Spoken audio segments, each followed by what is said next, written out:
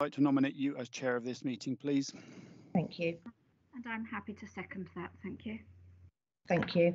Um, and before we go any further, I will just uh, introduce you to my uh, fellow councillors. So if you would like to introduce yourselves, please, councillors. I'm Councillor Les Fry, representing Dorchester West. Uh, and I'm Councillor Kate Wheller, representing Rodwell and Wyke. Thank you very much. Um, this is a public meeting and it will be streamed live on YouTube. Um, if, as you can hear, I've got a bit of background noise, which I'm just about to eliminate.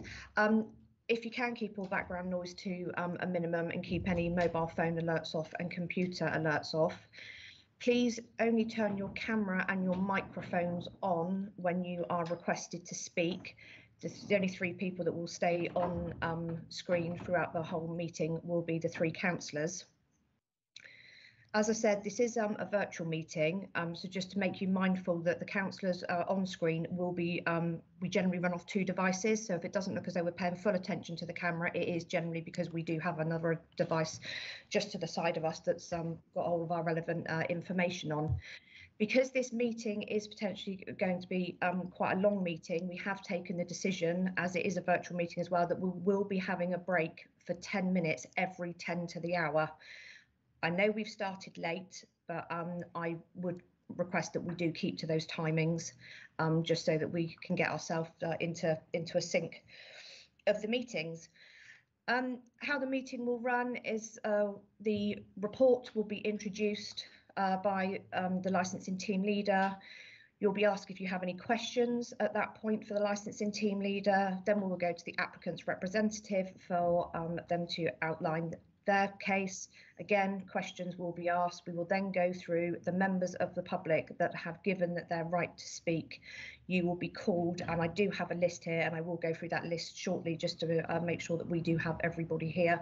And I am just going to do a roll call now to uh, check that I've got everybody that should be before we open the meeting. So um, we've introduced ourselves councillors, so I would now like the council officers to introduce themselves, and I'll start with the committee clerk.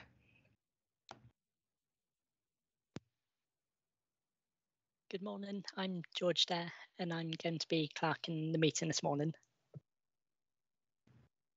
Thank you, George. Good morning. I'm David Northover. I'll be clerking the meeting this afternoon. Thank you, David.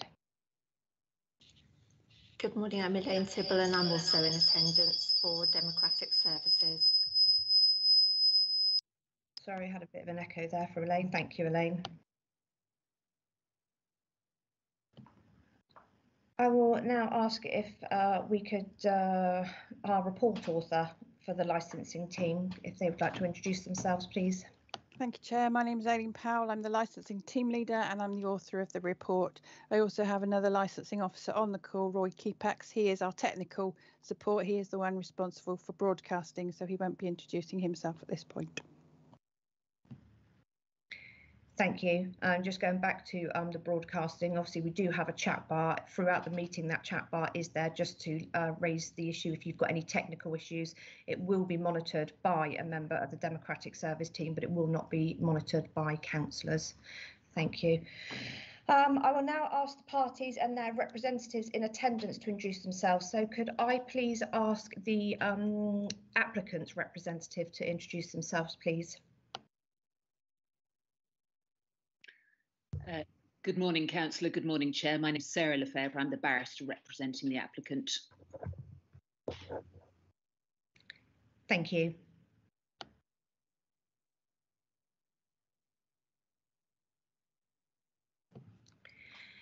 And any responsible authorities? Michael Nisbet. Is now joining monitored by a member of the Democratic Service team, but it will not be. I believe that we have somebody that's got the microphone on. Um, I will now ask parties and their representatives in attendance to introduce themselves. So I. Deja vu.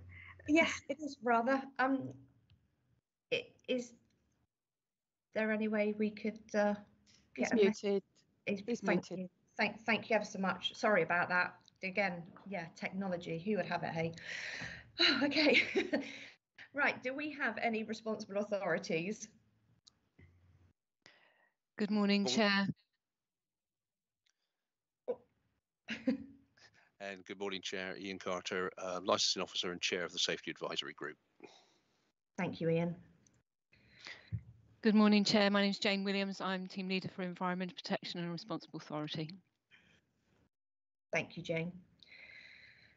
Okay, um, what I will do, I will just go through the list um, of attendees that we have. So just want to be mindful that I know we've had some issues today. So I just want to make sure that all those that have uh, put their request in to speak um, on the list are actually in attendance. Um, I will start, obviously I do have the applicants barrister, uh, Ms Lefebvre, um, who's introduced themselves. Do we have um, Councillor uh, Tony Alford? I can't see him on the call, Chair. No, okay, thank you. Um, do we have Mr. Dower?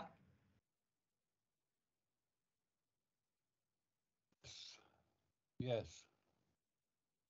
Thank I'm you. there. Thank you. Um, do we have uh, Emma Tracy and Chris Berry? Uh, yes, uh, we're here with Simon Megan. With Simon Megan. Okay, thank you. And do we have uh, Lorraine Briam? Yes, I'm here. I'm also here with Caris Bream. Okay, thank you very much. And do we have um, Benjamin Dove Seymour? No, Chair, he sent his apologies yesterday. Okay, thank you. James Green?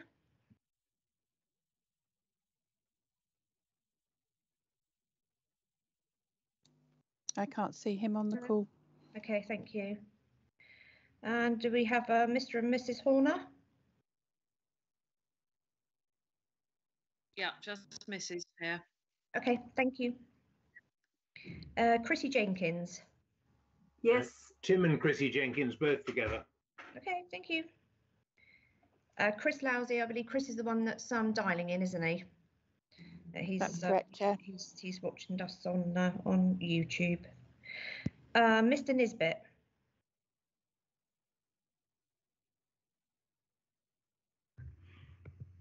Do we have him on? Uh, we believe that he is expecting to uh, call in. Okay. Yes. Michael Nisbet here. He is Oh. on the call. Hello, thank you. Um, uh, Gillian Perrott?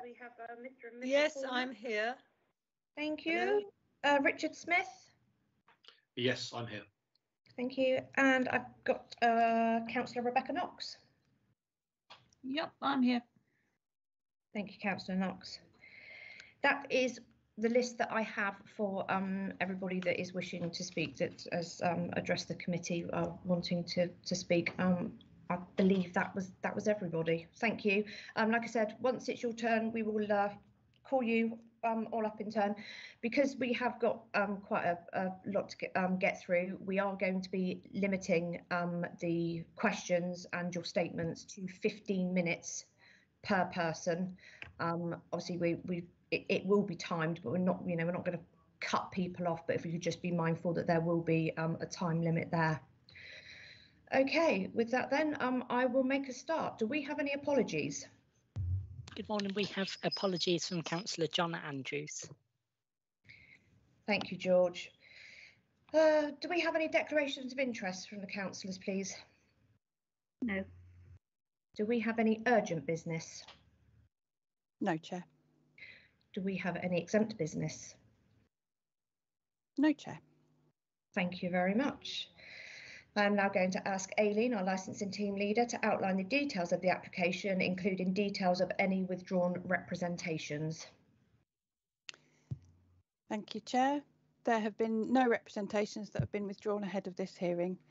Um, I do need to point out that there are, is a numbering error in the report and the final recommendation section should be numbered section 16 and not section 13. I do apologise for that. There are a number of key decisions which have been identified within the report for the committee to consider, including whether to allow this application in the light of the representations about the advertising. This is an application that was initially all encompassing in both times and activities.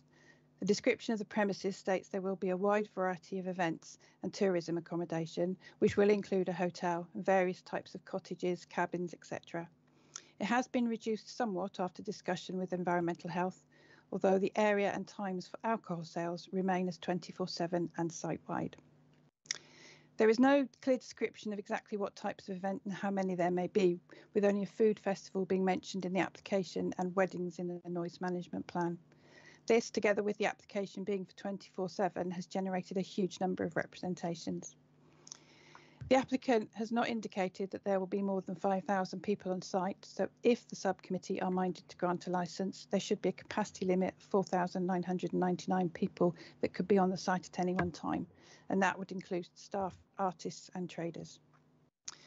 On the matter of planning, it is for the applicant to decide whether they apply for planning permission or the licence first. There is no um, set down procedure for that and the planning process will take full account of the concerns raised regarding the areas of outstanding natural beauty and the rights of way.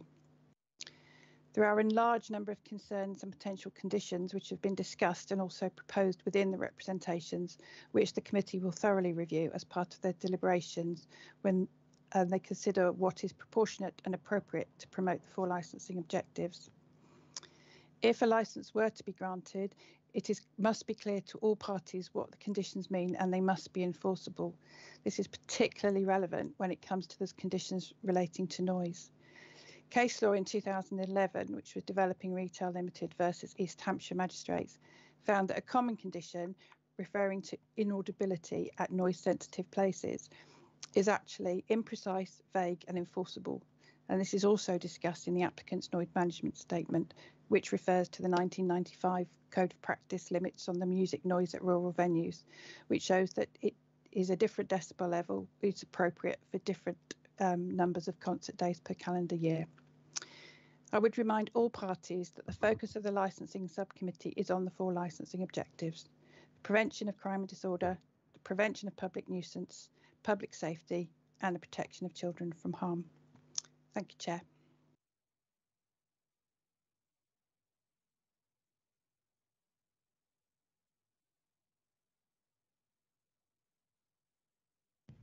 Sorry, councillors, do you have any questions for Aileen? Not at this time, thank you. No, thank you, not at the moment. Ms Lefebvre, do you have any questions for Aileen at this time? No, thank you, Chair. Thank you. And any of those that are wishing to make a representation, does anybody have any questions for Aileen?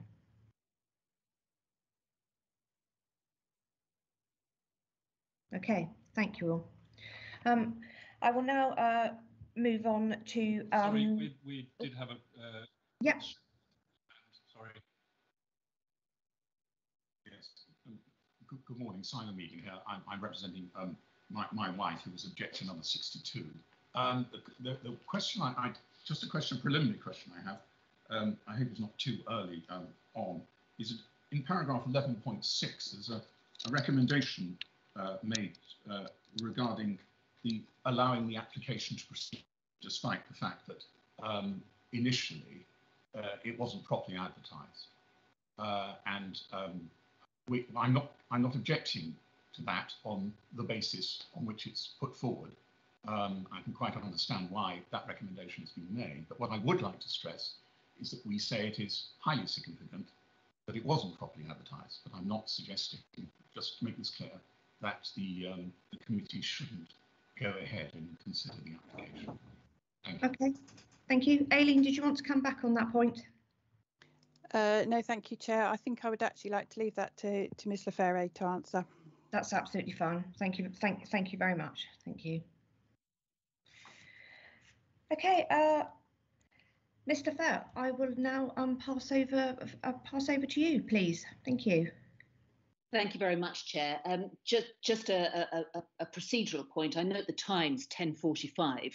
I don't know if you're planning to take the first break in five minutes. Um, yes, and I'm very conscious that I have a 15 minute speaking yeah. slot, uh, which I won't overrun. Would it that, be better to take a break now and speak clean for 15 minutes? Yeah, I think I think that would be a good idea. I was uh, uh, slightly mindful of that, but like I said, I'd still like to keep the timings for the breaks just so we can get ourselves into a bit of a routine. But yeah, yeah, so I'm quite happy to take the break now, and, and we'll come back come back to you. Chair, could I could I just ask that maybe we cover the adver advertisement before we break? Would that be appropriate? Yes, yeah, we can do. Would that would would that be okay? Have we lost? Have we lost Miss Lefebvre? She seems to have frozen. Oh, yeah. I have two now. I'm afraid everybody has a huge disadvantage now that you have me frozen on my own screen. uh, but Mr. Caton has very generously uh, given me access to his screen. so everybody gets me twice, which is unfortunate for all of you. Many yeah. apologies. No, uh, I'm, I'm, perfectly happy to deal with that now at the suggestion of your licensing officer. Uh, our, our, position is, uh, and it won't surprise you to, to hear this, that the application was properly advertised with a requisite number of notices distributed at the perimeter of the site uh, and care being taken to uh, place those notices where they were most likely to be seen uh, by members of the public who might be affected by the application. As you know, we submitted a plan indicating where those notices ha had been uh, displayed and a, a further plan indicating where in pink highlight or where some of those notices had been removed and in some cases significantly destroyed.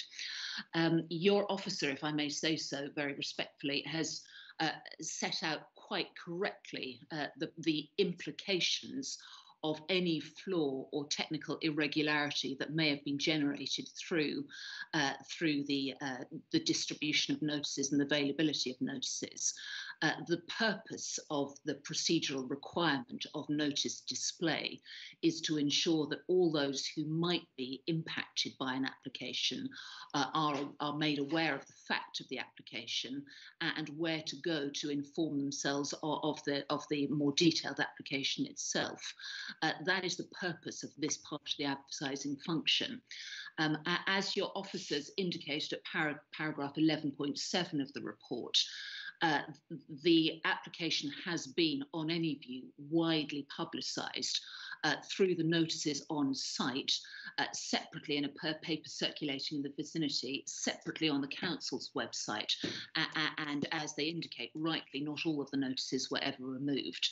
Uh, the process of uh, notification has produced that unprecedented number of representations in response, and the notice notice period itself twice extended, so that there's been a, a triple consultation period within which representations might be received. Uh, and of course, once those representations have been properly received, addendum representations were quite properly accepted uh, by your uh, committee members.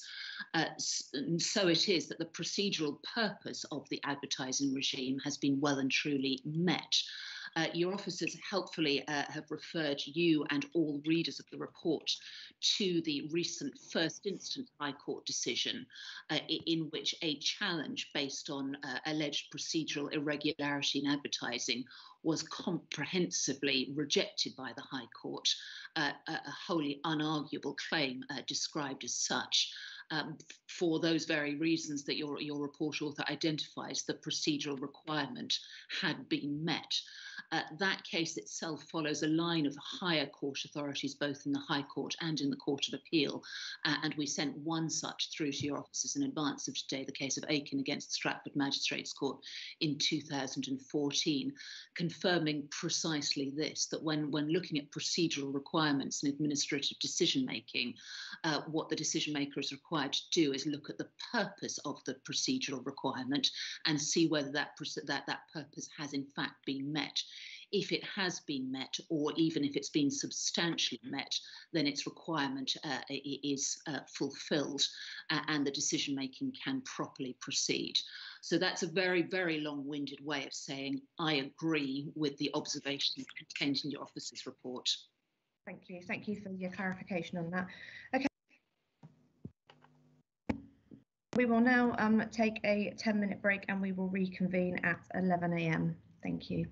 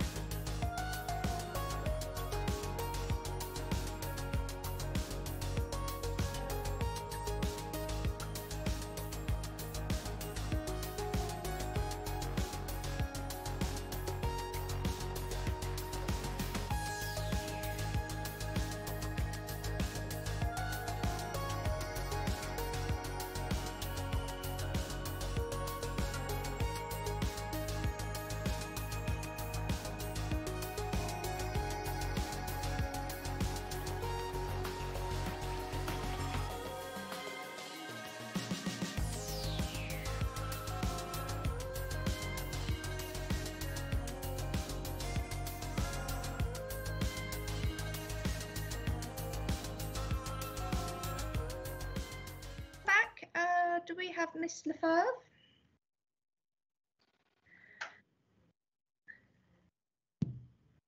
Um, at the risk of, uh, of interrupting flow again, uh, we did have our hand raised. We, we did have a, a, a, question that we wanted to pose. Can we do that now, or should we leave it till later? No, no. question. Um, questions from um, mem from members um, will be after the um, complete presentation. Okay. So we've got the uh, applicant's representation, which is barrister Ms. Sarah Lefebvre, and uh, Sarah is now going to do uh, the introduction. Thank you. Thank you very much, Madam Chair. Uh, can I say uh, as well that I have sitting in the room with me Nick Caton, who is the proposed designated premises supervisor, and my solicitor, Lana Tricker. Uh, and between us, we would hope to be able to answer any questions that you, your colleagues, or anybody else uh, might pose of, us. Uh, just a little bit more by way of introduction. Uh, I am a barrister representing this applicant, of course. I am also a very local girl. I had the great privilege of growing up on the South Somerset uh, border in and around Crewkerne. Uh, I holiday to this day along the Jurassic coast, and whilst that's not Beaminster or Netherbury, I do have some personal sense of this extraordinarily, extraordinarily beautiful area. Uh, Mr. Perkins and his wife and their children, uh, they're not with us. They're all already in residence within the estate. Uh, Mr. Perkins isn't well today, uh, but if there are questions that only he can answer, uh, then those answers will be sought and obtained for you today. Uh, Mr. Caton, likewise already living at the house with his wife and children, proposed, as you know, to be the person with day to day control under the Licensing Act 2003 of this premises.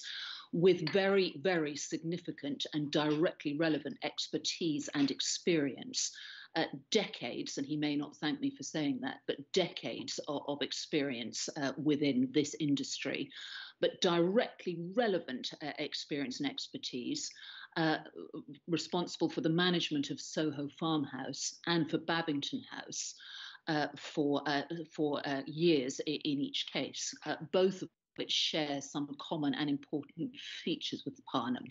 They are rural, beautiful estates situated in reasonably, well, very close proximity to residents who likewise live in small villages or towns.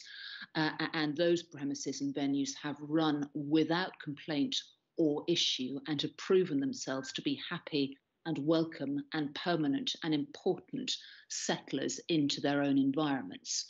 So, what I'm presenting to you and your colleagues today, Madam Chair, is an applicant with a successful, proven history in a rural setting of restoring and operating cherished houses and estates sensitively, carefully, without causing issue or upset in practice and reality to their local residents who equally and properly cherish their tranquility. There is one significant and important difference uh, here, uh, a, a, distinction to be made with, with this uh, as against Babington or the Soho estate generally, and it's this. There is no uh, external financial investment here.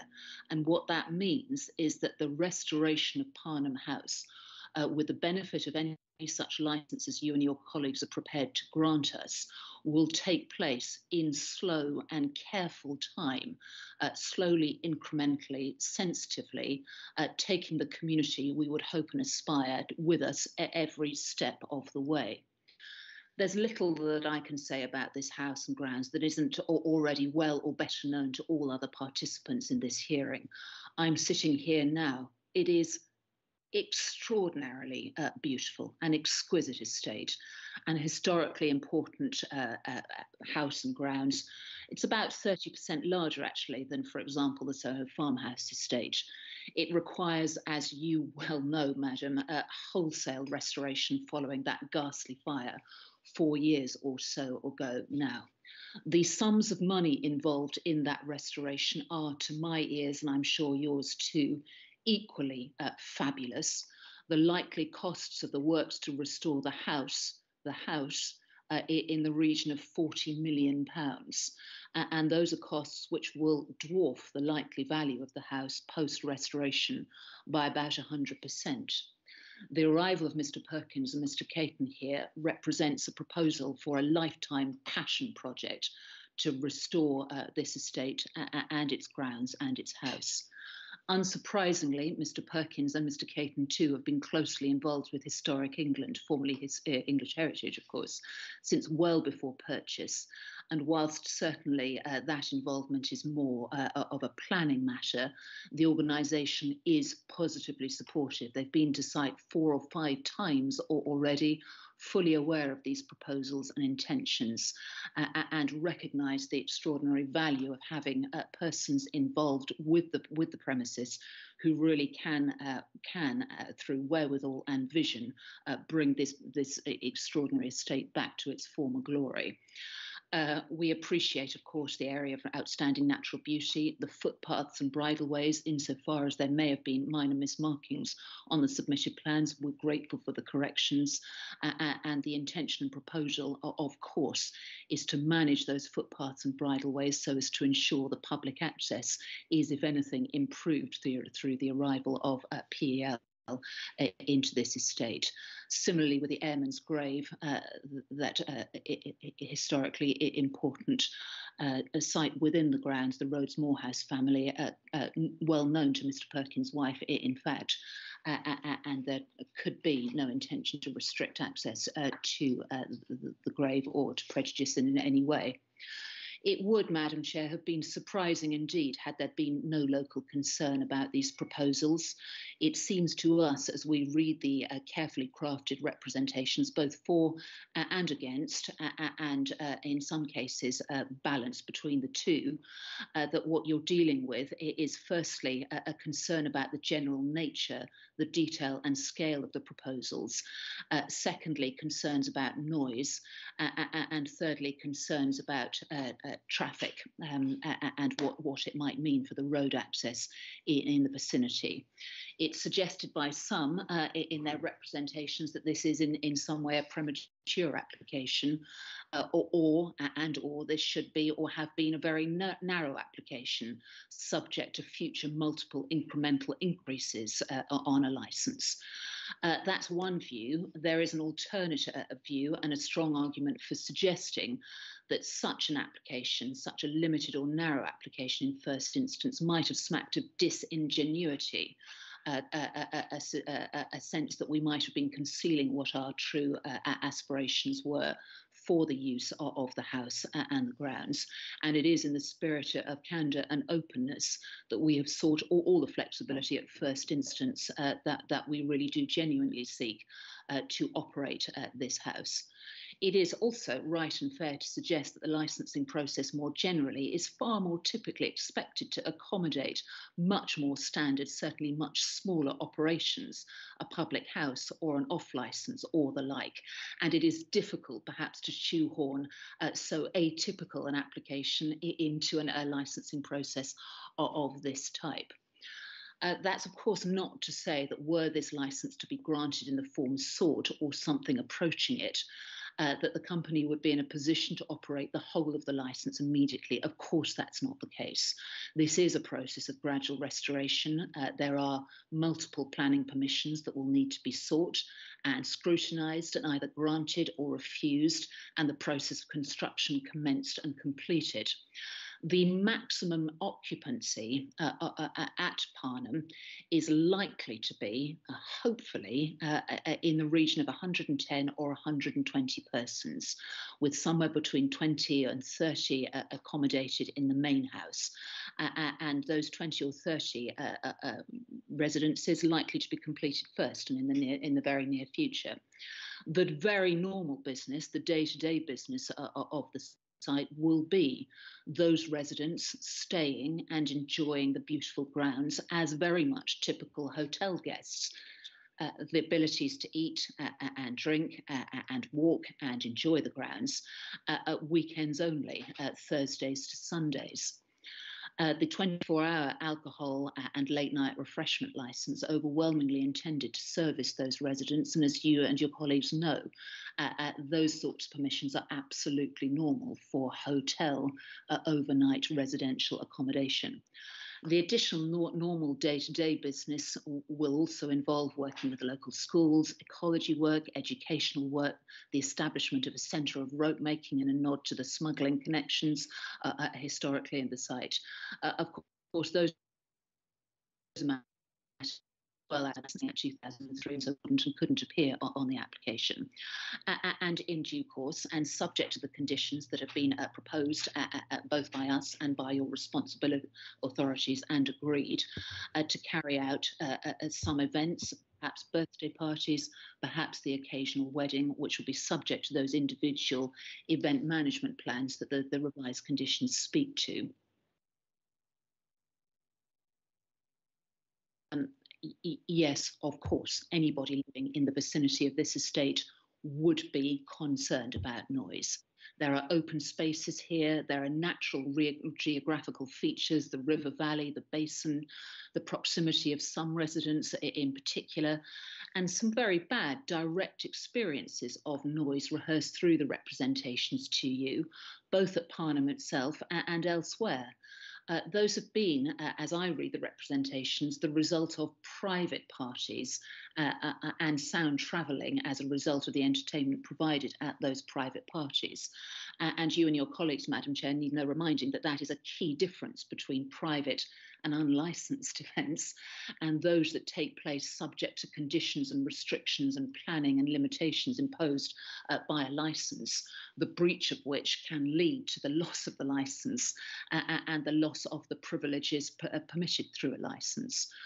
Uh, you know that we have uh, suggested a, a, limited boundary, that's the blue line that's shown on page 75 of, of the papers, and we've proposed a time limit uh, for external um, uh, entertainment events as well.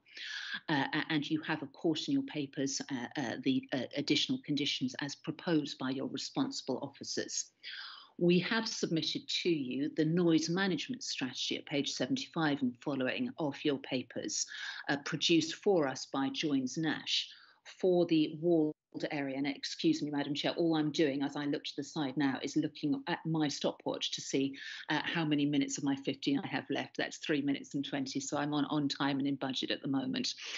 Um, uh, that's a, a, noise strategy drawn up for the walled garden, uh, a relatively small area proximate to the house.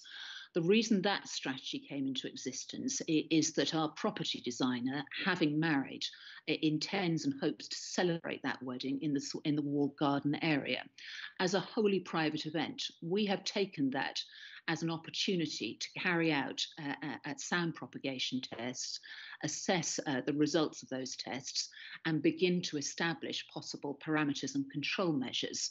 You may think it would have been very easy indeed for us not to supply you with that report. There are conclusions in it that a less candid uh, and less responsive, perhaps, operator might have wished not, not to serve on uh, you and your colleagues. It is a report which says, in terms, it's difficult to comply with the uh, guidelines of the Institute of Acoustics after 11 o'clock in the in, in the evening. Those details are so it is that the restriction has been volunteered uh, not to carry out uh, external uh, regulated entertainment events after 11 o'clock in the evening, saving for those uh, small limited numbers as agreed with your responsible authority. Y you know too uh, that we have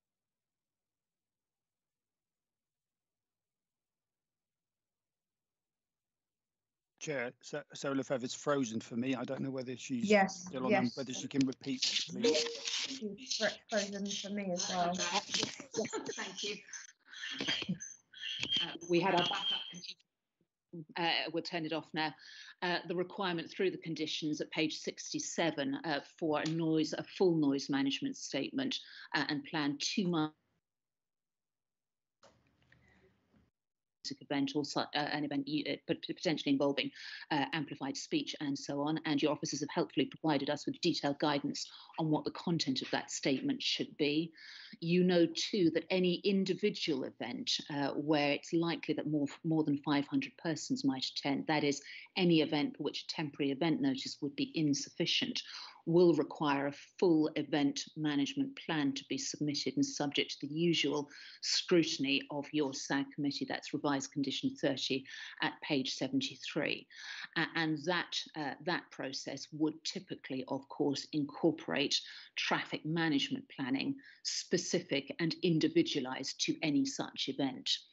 Uh, Madam Chair, I think I'm probably uh, right up against my timing. It's 40 minutes and 30 seconds. I'm not going to ask for the, the committee's indulgence to trespass any further. Uh, it, it, really is now a matter for you and your colleagues to ask questions of myself, probably more appropriately in terms of any operational matters to Mr. Caton, who's sitting immediately to my left-hand side. But I'll stop speaking now. Thank you, Mr. Firth. Uh, councillors, um, do you have any questions? I don't mind which one of you goes first. Uh, Mr. Fev, what has been planned for noise in the wider grounds when you're having the 10 events per year? Um, one, do we know what those events, how long they might be? Because an event could be one day or three days. And what have you thought about for noise outside that area, in that area? You're muted, Mr. Caton. Uh, sorry. That's right. Hello. It's, a, it's a common phrase nowadays. You're muted. My name's Nick, and I'm here on behalf of Parnham.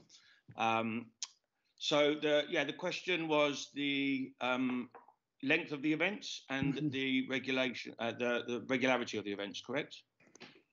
Yeah. Um, so because the family will be living, as I will, on the estate for well, the family for the foreseeable future and myself for the first few years just to make sure that operationally we learn and we make sure that we are in balance with the community.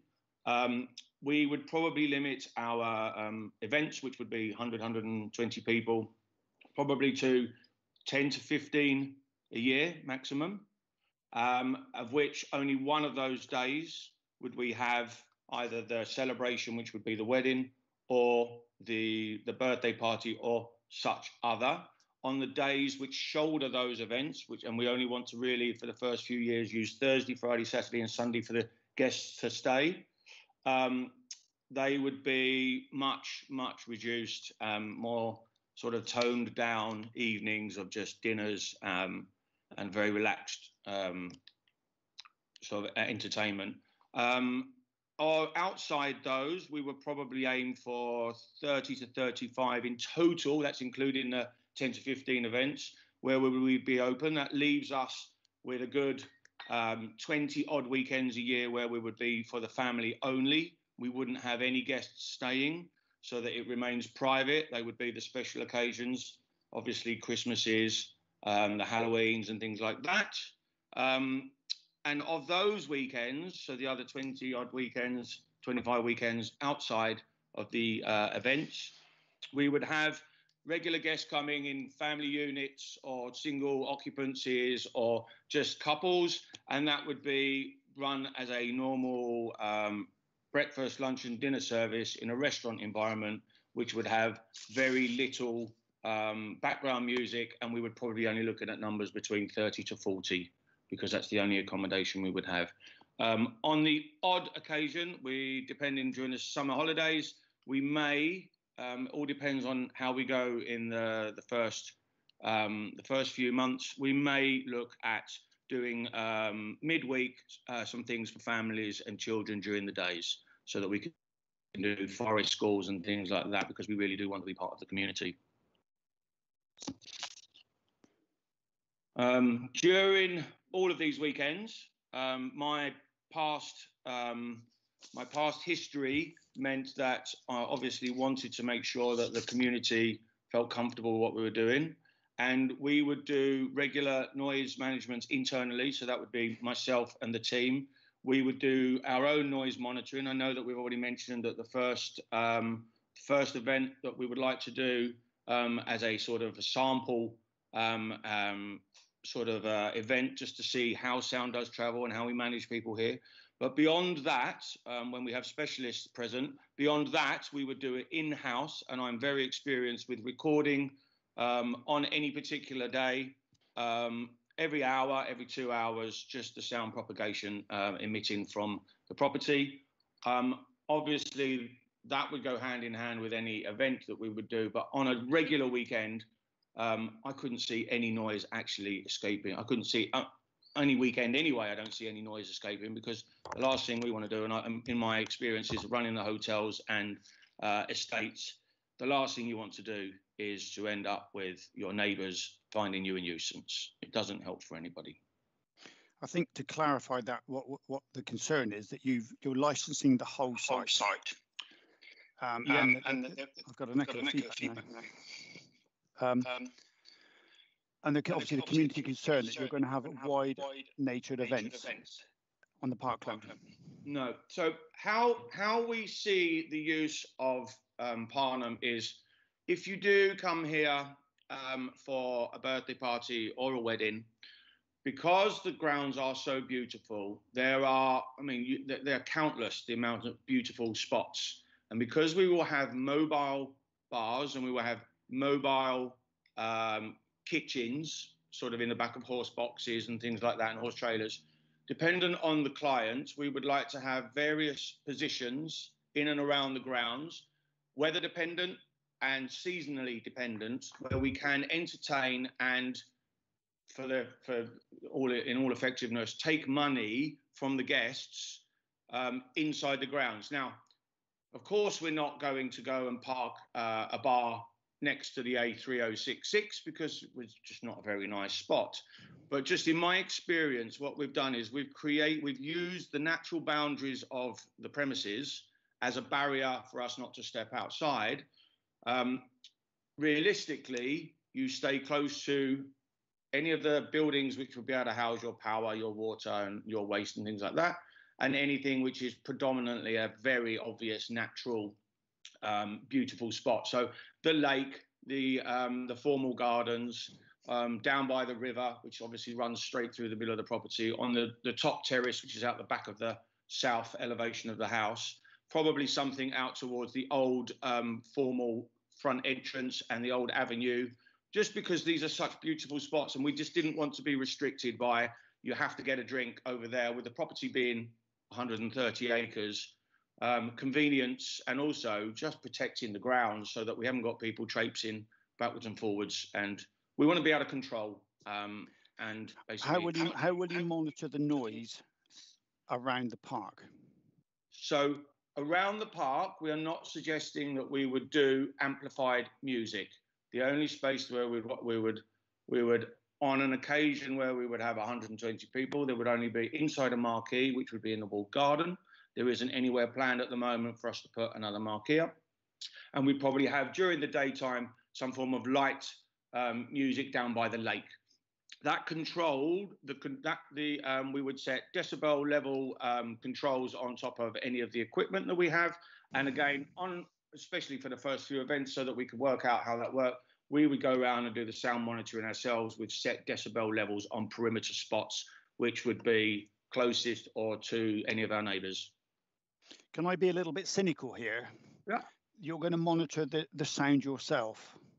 We've done that. In, I have done that in the past. For the first event, we're going to have professionals do that and in so that we can get a very good um, sort of base and barometer level of um, how sound travels. And after that, I've been experienced in a member of our team. It's usually the person that works the nights or does the banking and cash up will have the ability to go out during the time that music is being played to monitor the levels and I, I apologise for being a bit cynical here, and I do not doubt your expertise and skills in any way at all. But we're here to ask questions, in a way, on behalf of the community as well. Sure. Uh, and, and I want to find out how they can have trust and confidence in the noise monitoring system if if this license is granted. Yeah. Um, what could be done to reassure the the community that the figures won't be manipulated in a way. So they'll be recorded. Um, um, more than happy to have them available for anybody to come and check. Um, we will also have, at any point, there will be a, a, phone which will be circulated through the team so that 24 7 is a bit like a, an emergency phone, as it were. I would hand out this phone number to all residents that at any concern or any point, they can have a direct line of communication to Parnham House. Um, more than being recorded and transparent and showing you the decibel data, um, which was sufficient in my previous um, premises, um, I'm open to suggestions. Thank you. That's me right. for the moment. Thank you. Back to you, Chair. Thank you, Councillor Fry. Councillor Wheller. Uh, thank you, Chair. Um, we're, we're all of us um, increasingly aware of, of the environment these days. Um, and uh, I know that you've been working very closely with um, uh, Historic England and, and other bodies. I just wonder whether you've consulted with um, Dorset Wildlife or Natural yes. England. Um, do we have um, do we have some environmental impact uh, information on um, light pollution, the impact on flora and fauna of light pollution, noise pollution, and so on? Um, I I know that there's been some concern about light and uh, yeah. uh, night creatures recently. Well, we, as um, and I know that the planning doesn't jump over into the licensing too much, but they obviously sit side by side. Um, yes, obviously because we've got historic England and this is uh, it's a, a listed deer park. I think every tree's got a protection order on it, and it's a very sensitive landscape. The planners have obviously made us do so many surveys so that we make sure that we don't miss anything. We have um, we have had um, everything from the ecology to the trees to the bugs and slugs surveys and things like that, so that we can make sure we've also got specialists working on the planning side to make sure that the the heritage impacts are not destroyed because obviously this is a very historic landscape. So everything that we do we have to get it checked out. It has to go through the right and proper um, procedures in front of the right people. So we are incredibly sensitive to what we are doing with the grounds here. And there are certain areas from a planning perspective that we will not be able to do anything, um, which is why we have to resort to the mobile. Um, if we do want to have a bar somewhere on down by the lake, we're going to have to use something mobile. At the moment, there is no no planning has gone so all we're doing right now is we're making sure we are protecting what we have adopted and we are now custodians of. Um, I, I, it's it's difficult to separate out the, the, the two issues in some respects, the planning and the lighting. Obviously, where um, my my concern is the the noise and the light impact on um, the the natural environment there, which sure. is which is significant. Um, yeah. Uh, and I guess to a certain extent, it's a suck it and see. Um, we won't know what that impact is until it starts to manifest itself, of course. But um, your monitoring, hopefully, will encompass that and, and um, allow us to see uh, if the mating habits of glowworms are dreadfully affected um, by uh, uh, light over the lake, for example. So, thank you. Thank you. Councillor Fry. Uh, Mr. Caton, I have some questions close to my heart as well, and I know there's been a lot of concern about the disruptive wild parties that Parnham Park is going to have that's going to completely destroy the community of, of Beaminster and Netherbury um, in this area of outstanding natural beauty. Would you like to comment on that, please? You say destructive parties. What exactly do you mean? Well, because I'm just I'm just um, generalising the comments that, that from some of the people who've raised objections. Um, I, my my honest uh, opinion is the family will be will be living here. We we the last thing we want to do is take a house as beautiful this and an estate as beautiful this and turn it into something that nobody likes and appreciates. It's going to be very small numbers. even Historic England have asked us to not um, don't basically open to the public too much so that you end up with hundreds of people walking around destroying the grounds and things like that. We are trying to sell, which everybody is in need of, um, is a beautiful, quiet, recreational experience in a high end establishment where like minded people can share fun and good times without keeping everybody awake at night. Um, this is a way of showing how beautiful the countryside is and can be. And for this estate to have a breath of life, life again, um, just so that people can appreciate what we have and, and what beauty there is here. So I think I think there is fear from the unknown, from some of the objectors and some of the conversations that might have happened in Beaminster and Bridport. And I think um, we need to prove to the public that actually we're going to be such a great addition to the local area. Um, past record, uh, the fact that the house will be restored, and the last thing we want is to have to manage not very nice situations. So the last thing we want is large number of people and lots of loud noise. Thank you. That's my first question. Yeah. Um, and it, we're really here, we're facilitating the people that are observing this meeting Sure. and, and the local community. So I apologise. Um, clearly, you're going to have wild, outrageous parties there. They're going to need lots of police attention. How are you going to deal with security and public safety of the people Well, there?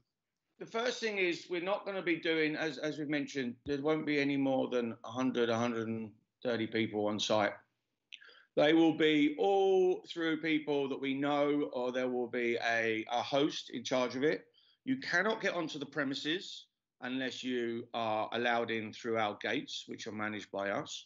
We will have security on the on the nights when we are operational. So, say we have well, there'll be a night manager um, during the normal um, normal weekends where there's 30 to 40 people on site in their small individual groups. And if we are having an event with the other 60 or 70 staying off site, we will have security present.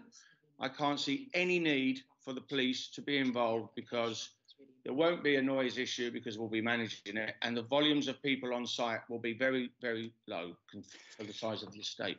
Some of the objectors raised issues about drink driving. Um, would you like just to comment on that at all? Um, well, I think as a responsible premises supervisor, it's my duty to monitor what's going on and how it goes on. We will have a, a car park very close to the wall garden, which is where we'll be hosting predominantly the food and drink um, on site. And in my experiences, um, you know, of, of course, you have to have your wits about you, and you have to follow all of the uh, um, the licensing rules which go with alcohol. Um, it is something we can monitor for the 30, 40 people that are staying. I can't see them leaving, especially at night somewhere, would they? And for the other guests, we will have our um, receptionists will be here throughout the night, and the night manager will be present. That's fine. Thank you very much. Now, traffic leaving and, ar- and arriving, do you see that being an issue that you will need a traffic management plan or anything for? No, I, I think, as I said, uh, most of the weekends, so the 25 to 30 weekends where we've only got the 30 to 40 people in the first couple of years, they will be staying on site. So when they arrive, they will be staying here. They might take one day trip out to the uh, seaside. Um, otherwise, I can't see them really using their car. And for any of the larger events, if we did have 100, 120 people here, because they'll be staying locally in accommodation, I would we would be pushing for for them to be using taxis. Um, again, we have space on site. We will we're already working with some local taxi companies. We're going to get very familiar. Um, I can't see anybody walking from the premises out to the villages. So all the pickups and drop-offs will be managed from inside the premises. That's thank. And that that's also part of the planning. It's um, you know, we, we're we're looking at potentially, if planners allow it, um, changing the shape of the entrance. Um, that comes down to the traffic surveys and things. We're looking at is there an in and out? It all depends on Um, so there's a lot of work going on with car parking, traffic, uh, vehicle movement, and things like that. That, no, that's really helpful. Thank you for that for answering the questions. The reason I asked those questions is there are people observing this meeting, sitting in on this meeting, who may have questions. So I just feel it's appropriate that we ask those questions sure. on behalf of other people there now, because yeah. you're starting relatively small. Yeah. What they will be concerned about is what the future brings for Parnham Park. Um, and where this leads them, they could say, use the phrase, it's the thin end of the wedge. Yeah. And I, I put that to, to you now um, across the board. And I think a lot of issues often arise, whether it's personal, domestic, neighbourly, community, through lack of communication and lack of consultation. And, and I think you clearly know your plans inside out, but the people observing this meeting don't at this time. Sure. So it's our, we're trying to draw out some of the future things. So do you have plans in place? You're, you're looking at 110, 130 people at the moment for weddings and parties and Halloween parties and so on. Is there anything in the pipeline at this moment that may lead community concern? No, because we don't plan to go any bigger than ever, having 120, 130, unless it's something like the Dorset Food Fair, which obviously we would go, we would come to yourselves and we would put a management plan and a traffic plan and we would work with you because we want to open that up to become uh, a community, a, a, benefit to the community like it used to have here. So, no, I, I think the fear is the unknown, obviously, and that this is going to end up with four, five, six, seven hundred or more people every weekend with traffic in and out on a daily basis. In, actual fact, it's it's a very high end. Um, we want to keep the numbers very low because we don't want to impact the, the grounds and the garden um, in that way. We want to keep this as a very little sanctuary almost. Um, so I, I think when it's unfortunate that the planning is still going through, so you can't, you haven't seen all of what the applications, what we're trying to do with the place. And I think if we had, if we had the privilege of having planning agreed and being able to show that to everybody what the place would look like, and you could see the volumes that we will want to look after sensibly, I think the fear will be alleviated. So I think from our perspective, we just want to have a space where we can look after up to 120 people over the next few years. As I said, most of the weekends over the next few years will be 30, 40, 50 max. Thank you, Chair. Back to you at the moment. Thank you, Councillor Fry. Councillor Wheller, do you have any further questions? I'm, I'm, okay for the moment. Thank you, Chairman. Okay, thank you. Um, pretty much all of my questions have been covered. The only one that I would uh, probably like a little bit more detail on is around, um, obviously, being mindful of the food festival. Um, obviously, gets classed as an event, um, and the word event to me, an event can last one day, an event can last for a week. Um, so I'm just sort of mindful of the events that you might have in the future. Um, obviously, you know, like you said, you will be working with obviously the licensing team around those events. Sure but I'm just sort of trying to gauge as to how many of those event, events that you would possibly have realistically in a year where they probably you, you are probably going to attract bigger numbers than than your uh, than your sort of 120 one to two. i can see and i'm not even sure we would do the dorset food fair next year. It all depends on everything that happens with this and but i would love to do the dorset food fair because it was already established and people when since i've been talking to locals they all said it was a fantastic thing to do. Um, and I suppose the only other one would be something along the lines of a, a bonfire type event. I'm not suggesting that we do fireworks because of area of natural beauty and the wildlife, um, but there's no reason why we couldn't do something at, at, another time of the year. So I would say probably one in the first year, if any, and then two to three max. And they would only be, uh, the larger numbers would only be if they were community based. It wouldn't be because we want to put 500 people and do a two-day party. It would be because we want to have five to 500 to 1,000 people through the door. I don't know how many we get with a food fair, so that we can use local local producers and local crafts and things like that, and get people together, put a little stage up, and just have people come and enjoy the day. And it wouldn't be a it wouldn't be a chargeable. It would be just come and visit. and we would just have to obviously have a have a traffic and management plan with yourselves and a licensing plan. But that would be something to work on. Yeah, okay, thank you. I just just want a clarification on that, because obviously yeah. there were a lot of questions around, you know, you can appreciate that um, 130 acres is a big area to be yeah. licensed, um, and, you know, in regards to people 100%. thinking that you're going to have, and, have uh, events, but I think the family would be absolutely distraught if we ended up with a lot of people coming and traipsing through their garden that they have just spent a year trying to put back to absolutely beautiful. And apart from that, I don't think the gardeners would talk to me again. So. Thank you. Uh, Councillor Wheller, I believe, has a question for you. Thank you very much. Um, it, it's following on from your question, um, Chairman, and, and um, I'm I'm guessing that Mr. Caton will be happy to reassure um, those people around the village, villages surrounding, um, that you are not planning to be the next um, uh, Glastonbury, uh, Knebworth, or or anything else, because absolutely the furthest from it we could be. Thank you. Councillor Fry. So, uh, Mr. Caton, thank you for your answer so far. Some other issues that have been arisen through the objectors is the, the yep. management of the rights of way through through the park.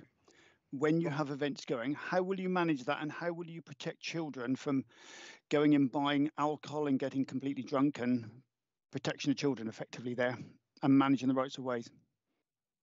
Well, we obviously none of the rights of way will be affected. They are public rights of way. Um, we have learned, especially over the last year, um, that we need to do the maintenance and the signage of them. Um, I think we also need to have on the event days, um, we need to have sensible communication to anybody that comes through the property. Um, I do believe that the blue line now is suggesting that uh, the only one path that comes through the estate would be the one that crosses from the uh, A3066 over the River Brit. So that would be the only public right of way through or close to the estate which would have a licensable activity in it. And that very easily be managed, as I said, with signposting, event notices that could go up the day before, two days before, week before, whatever we decide. Um, and then because the war, the way that the walled garden is, and where the car park hopefully will be, if planning say yes, is there will be a presence on the door because of the reception. And obviously, our team will be, if there's an event on for 130 people, there will be 15 to 20 of us. And I think very quickly you'll be able to, well, especially from a children's perspective, you'll be able to make sure that you can manage their movement and if they are supposed to be part of the party or not. Thank you very much. Um, you have the two cottages nearby the mill cottages. Yeah. What sort of impact would you envisage that your events might have on those? I'm hoping very, very little. And I believe I, I would love for the residents there to be um, very close neighbours. Um, they should feel free to pop in at any time. They will have my direct number as well as the Parnham phone number, which um, will always be manned. Um, and I think it's uh, also one of these we work together to make sure that we are in harmony, so that it's not just uh, this is what we're doing. So I think it's it's a teamwork, and I, I I'm hoping that there is no disturbance because that's what we're going to work together to make sure happens. So I just want to sum up the way I've understood some of your answers at the moment. Yeah. 110 to 130 people in a high-end uh, location, all music contained within the walled garden. Um, no, that's not. That's no music. The music predominantly will be inside the walled garden, but we would like the ability on a day such as today to be able to take some music down to the lake. There might be uh, an acoustic band playing down there. There may be amplified music down there. Um, but again, it will be managed. Um, but we want to be able to use food, drink, and music around the estate inside the designated areas. Fine, and and your uh, your your noise monitoring plan will be active throughout wherever the music is, uh, and manage within that. Yes, absolutely. That's fine. Thank you, Chair, for the moment. Thank you, Councillor Fry. Councillor Wheller. I'm, I'm okay for the moment as well, thank you. Okay, thank you. Um, I don't have any further questions. Um, councillors obviously doesn't have any further um, questions at the moment. Um, I am um, mindful of the time, um, so I will um, go to um, our licensing team leader, team leader Aileen. Aileen, do you have any questions? Not at this time, thank you, Chair. Okay, um, well, um, then I've got the responsible parties. We do have environmental health here. Does environmental health have any questions for the applicant, the applicant's representative? Um, thank you, Chair. I have no questions to ask. They were adequately portrayed by the councillors. Thank you very much. Thank okay, you. thank you, thank you. Um, what I will do, because obviously questions now um, will be over to those that have made representations, and I will go down through the list. Um, what I will do, I will start with those after we've had our 10 minute break because I'm mindful that we are coming up to that. Um, but I will just like to say before we go into um, the um, members that have put in their representations, at this point, when um, you are um, uh, addressing the applicant, it is for questions and any clarification. It's not for statements. Obviously, you do have your opportunity um, later on to, to to have your say, so you do get your say. But I just want to make sure that um, you know th these are questions that that have answers, and they are not going to be statements to the applicant at this time. Okay, so um, I will now um, have a break, and we will resume again at midday. Thank you very much. Thank you.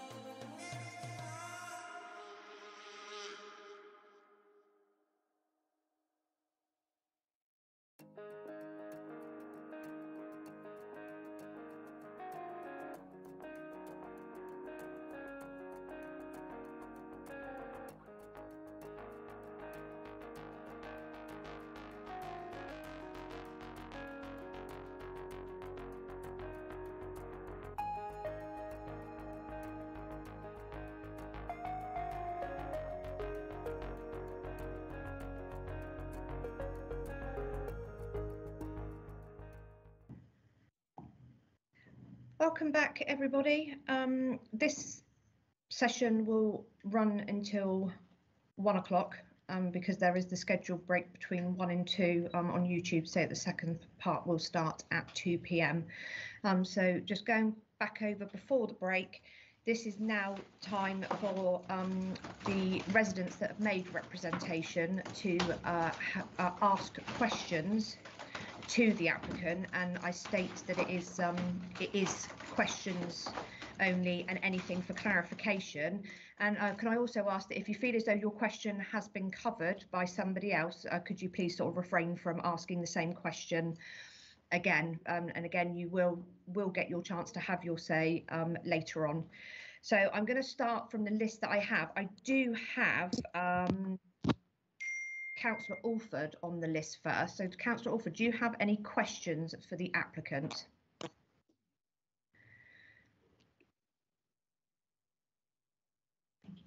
No, okay, I will move on. Um, Mr. Dower, do you have any questions for the applicant?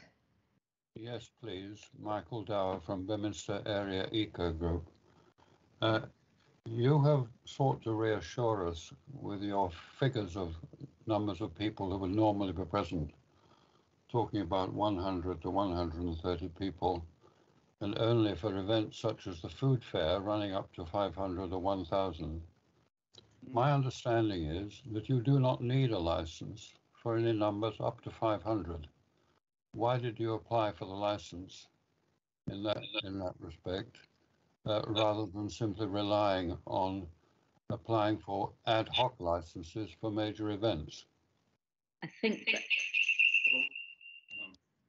I think that's probably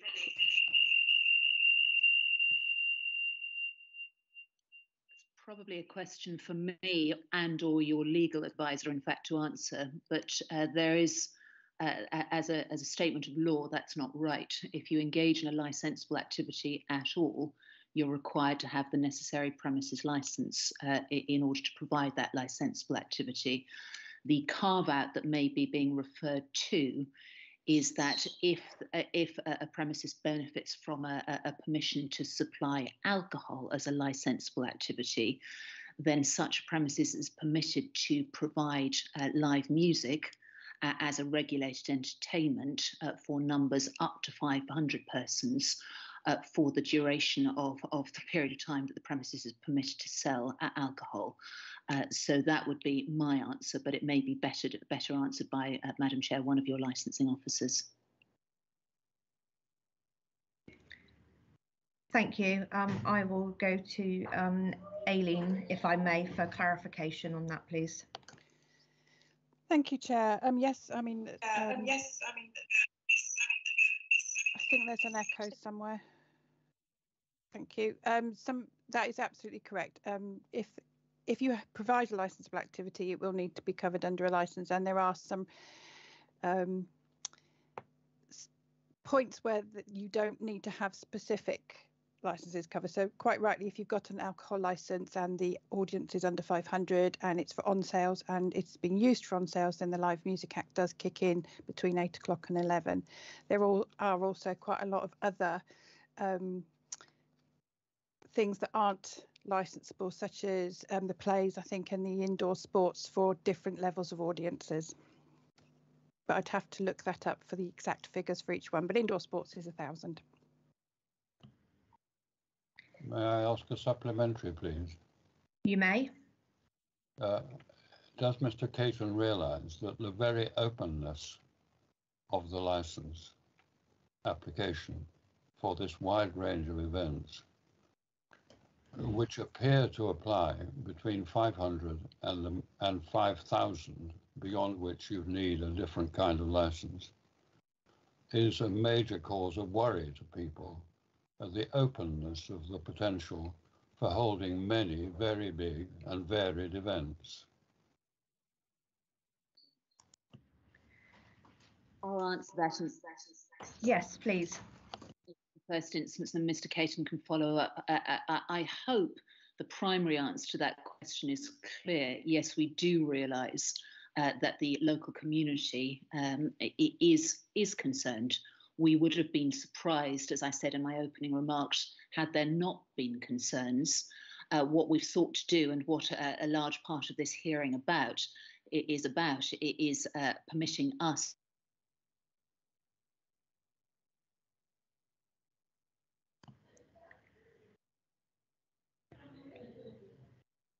I've been. Oh, I was going to say, I believe you're frozen. Can you can you repeat that last paragraph? in, a very, in an extremely unflattering position. It's, it's fine. um, Mr. Firth, are you able just to repeat that last paragraph? We sort of lost you part way through that, please. Thank yes. you. Uh, uh, I'll be brief and then hand to Mr. Caton. I, I hope it's clear to members of the committee and to those others who are watching this hearing uh, that yes, we do appreciate uh, that there would be very real concerns amongst the local residents, amongst the local community. Uh, uh, uh, uh I hope that through today's hearing, the answers that we've already given and the extent of planning in, in, advance that's gone on with your responsible authorities, including, of course, the police who are out here in attendance and inspecting the site before the application was made, uh, that uh, we are working extraordinarily hard, both in crafting the entertainment uh, and licensable activities themselves and in controlling those licensable activities to make sure that the footprint is is genuinely light uh, uh, uh, and we would hope experienced as a non-footprint by, by the local community.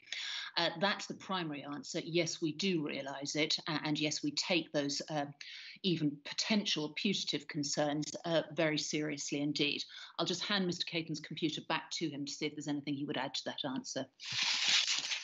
Um, hello. Yeah, no, as you said, I think it would be one of the last things on our mind is to create that sort of environment inside this estate. Um, it's very far from the purpose and what we're trying to do with bringing this estate back to life.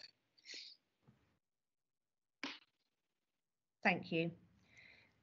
Mr. Dower, do you have any further questions? No, I'm grateful. I will be raising my own points later. Okay, th thank you very much. Um, it might before before I go on to the next person, it might be just worth um, mentioning and just bring it to everybody's attention that um, any license that is granted, um, should there be any issues with that license, as in if you have proof that there's any issue with that license, any evidence, then a license can be called back in to the licensing committee for a review. And on that review, timings can be tailored and and there can be a lot of changes made and there can be conditions attached. So I just I just want to make, people mindful that if should a should a license be granted, there is always scope for the license to be pulled back in um, and and reviewed by by a licensing subcommittee. Thank you. Thank you, Chair. Uh, I will now, um, do I have Emma Tracy and Chris Berry? Do you have any questions for the applicant? Uh, yes, we do. Um, uh, it's really a, a, actually, uh, I, I, can frame it in the form of a, of a question if you really if need you could, to. please. Uh, okay, so my question is, um, why is it that uh, having lived in the, on the estate for a year, you don't know that there are still major routes of, uh, rights of way that go through that blue area. Uh, I can uh, illustrate, if I if I may. Um, so I'm I'm now sharing my my screen. Hopefully you can see that. This is the this is the map that was uh, part of the alternate the, the, the sort of second application, if you like, the, the varied application, with showing the blue boundary. There is a major road right of way, which is the Hardy Way, uh, running, if you can see my hand, running along approximately this route here, uh, through there, through the, all these houses here, uh, but definitely crossing through this blue area. Uh, so it's surprising to me that you were not aware of that. This blue area does extend all the way up to the, airman's grave is around here, uh, all the way up this hill, and definitely includes those rights of way. Chair, I'm not sure if this is a licensing question or not. I don't believe it is. No, I believe it would be um, that that would be down to um, Okay, a, but, but a, uh, a conversation that you would have with planning with regards to the rights of way. that's fine, but the rights of way were, were, were raised and a statement was made which was not correct. Okay, we will uh, take note of that. Thank you. I Do you have any? no um, questions. However, uh, we do have Simon Megan here. Uh, would it be better to him to speak now, or or would you like to go through the list? Um, if you, I mean, I mean, I'm happy. Councillors, are you happy if um, Mr. Megan speaks now? May makes sense that he's. Uh, If he has any questions now, yes. Yes, If yes. it's statements, no, they can wait, No, wait in yeah. term. yes. I'm not So interested do- in making statements. I get to ask some questions. Um, Okay. Just to get this clear, um, what you're saying is that you envisage that there will be, so that we all know what the position is, uh, no more than 120 to 130 people uh, using the, premises. That's the whole of the premises, right? Normally. And that apart from occasional events, those people will effectively be uh, accommodated as hotel guests. So they'll all be residents. Is that correct? That is that is correct. Yes. And that the sort of event one might be talking about is um, a food fair, for example.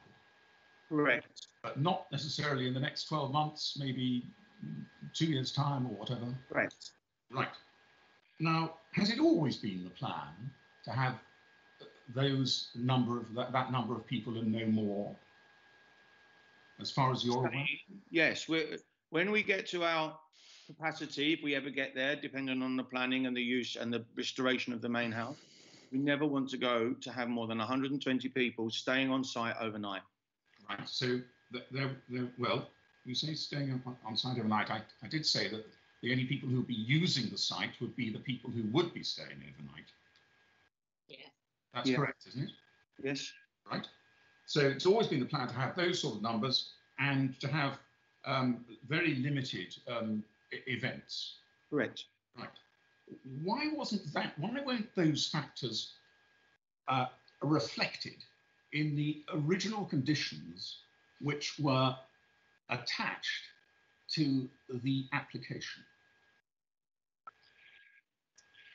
And I? I'm going to pass this to Sarah. I think, and I think my my It's not necessarily a legal question. This it's a factual question. I would have. Uh, Yes, i i- it is a factual question, but the document was drafted by uh, solicitors instructed by the estates. Uh, a- a- and the general answer is in common with virtually every licensing application that is ever made for any new premises license. Uh, the application is wide enough to, uh, and has to be wide enough to capture uh, the flexibility uh, that uh, the licensee or the would-be licensee uh, seeks. Uh, and so, uh, whilst if this was a, a single type use ever premises, it would be possible to say, well, for example, here's a capacity figure, and here's a capacity figure, and here is the single event, and this is the date that this will ever take place on. Uh, that is not the shape of an application uh, that, that, that could ever be made on behalf of this this part. Uh, what we've been able to give you and what we have given you today are the typical numbers of residency, the kinds of events that would happen outside the residency, uh, the large scale events like the food fair. We've talked as well about the occasional wedding or party that might take place, a- and so so it is that the license is crafted deliberately in that broad way, but with additional conditions bolted into it uh, to manage and control uh, the potential larger scale events with the assistance of the uh, local authorities. So that's why uh, I- I'm answering that question because that is a, a, an absolutely standard way of crafting and drafting not only the application itself but the conditions that govern uh, and control the would-be or potential uh, premises license. Well, Thank Um, you, Mr. Firth. yes, I, I, I got some further questions. Yep, that's Uh, fine. Um, and I'll make an observation about what's been said there uh, later on. Um, Uh, the, the, the, well, perhaps following on from that, it's perfectly possible, isn't it? And it, this has been suggested, in fact, on page 19 of the bundle of documents by the licensing officers in their recommendation uh, paragraph, paragraph 13, which we all have in front of us, um, that in fact the way to deal with this matter is, are you aware of this, Mr. Caton, is to, is to and, and you could easily do this, is to say, well, let's have a, a limited license at the moment and then if, for example, we have an event like the food fair, which, re which require, if it requires a license, um, then an application can be made for variation of the original license, if any is granted. That would be a perfectly proper way of dealing with it, wouldn't it? I think that that's one way of dealing with it, Mr. Megan. But the other way is to incorporate it within the the holistic license, uh, uh, avoid the need for hearings of this type to be constituted uh, repeatedly in front of the council, and condition robustly, as the proposals are, through uh, through uh, the license conditions any potential I- event, uh, as you know, that the, the, capacity uh, number or trigger capacity that's being suggested by the responsible authorities here is of 500 which will bring into effect the full event planning and SAG planning uh, that would attach to uh, typically, in fact, much larger events, but, but that is a hefty degree of additional control represented through this premises license. So uh, we accept that that's one way of doing it that you, you propose, uh, but the neater uh, uh, and, in fact, more cost effective from the council's point of view, apart from anything else, way of dealing with it is, is, is this premises license. Well, of course, we expect this matter for the committee in due course uh, as to any additional conditions they feel appropriate to impose on any premises license they're minded to grant us. Well, not my suggestion. In fact, it, it comes from licensing officers. Um, and, uh, uh, and in fact, of course, the idea of, of saving the council's time is very interesting. But if, if this extraordinarily wide application extraordinarily wide. If, if, the committee is starting to think that this is a normal approach, then I'm afraid they need to be disabused of that. Um, if, that, if, if, this, if this extraordinarily wide application had not been made, we might not all be sitting here today having to deal with this, um, all of these issues. Um, let's, let's go on to look at the question of um, the, um, the point that you've made about um, the only people basically who are going to be uh, are going to be there of 120 to 130 people. Um, they're the people who are staying overnight. It, it, the position is this why do you need a 24 hour license for the supply of alcohol to anyone, which is what you have at the moment, which is what you're asking for, Mr. Caton? Um, why isn't that going to be restricted? Why shouldn't it be restricted to bona fide hotel guests who are actually staying on the premises? Uh, and again, this this is a, a standard way of licensing a hotel type accommodation. It is uh, uh, that there simply wouldn't be anyone else here on the premises uh, able to purchase uh, alcohol in those uh, outside those times. Uh, so there's nothing sinister, unusual at all about an application that's crafted in this way. But again, a matter entirely for the subcommittee if they deem it appropriate to, to restrict or further condition. And of course, standard hotels don't normally ask for an alcohol license covering 130 acres. Do they? I think you'll find that, that, Chair, that there are hotels with with a wide range of things. Having been to some weddings over the last few years, where locations, and I'm thinking of a couple, particularly one that I've been to not that long ago, where the, the soap was licensed for that. Yeah, um, but uh, I would just like to be mindful that I'm here today to discuss this license and not a license for other premises and obviously the applicant does have the right to uh, put forward whatever he deems fit for his um, for his for his premises. Do we have uh, any further questions?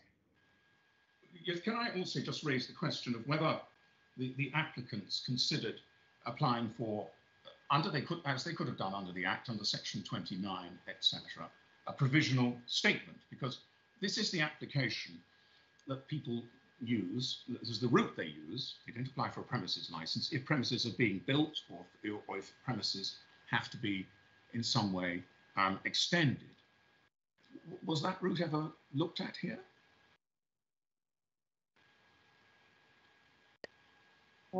Well, we met, the process that went behind this application was uh, extensive involvement with the licensing officer and the responsible authorities. This uh, application was crafted because this is the application that reflects uh, this premises and what we what we want to be able to do and start doing. So, of course, we're aware of the uh, terms and uh, uh, uh, various applications that can be made under the Act, but this is the application we have chosen to make. Thank you. Um, Thank you. Can we um, just look at some of the uh, conditions that are being um, suggested? For example, the new condition 32. How, how, Mr. Caton, you're going to be the person on site who is going to be responsible for making sure that the law is complied with if the license is granted or any license is granted. How does some, how does that work, number 32? What does it mean? You can see it on page 73 of the bundle if you want to look at it. Bear with me.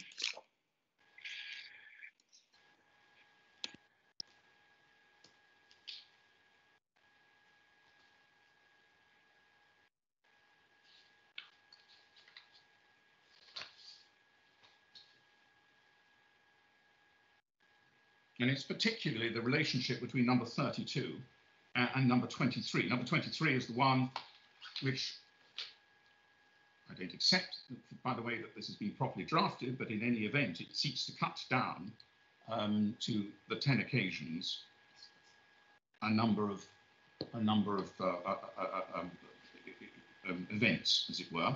Um, uh, what I what I still don't understand is how, but you probably do, how 32 in, has uh, how how it relates to 23. So 32 was something we put in to so that we could communicate with the uh, authorities to make sure that how we approach any event, um, we're all on the same team. And let me just go to 23. But wait, sorry, can I stop you there? What, how does 3 a.m. come in? Sorry? It mentions 3 uh. Operation after yeah. 3 a.m. Yeah. Uh, I, appreciate this question has been directed to Mr. Caton, but the simple answer is that condition 32 was part of the original uh, set of conditions proposed by us. Uh, we were asked by the responsible authorities to agree to their additional conditions, which represent, uh, in respect in particular of condition 32, uh, strict uh, further restriction on the proposal conditions, uh, clearly provide uh, restricted condition that was proposed to uh, uh, proposed by by us with the environmental health. So it, the question is how do they marry it? The answer is that the environmental health conditions and agreed uh, trumps.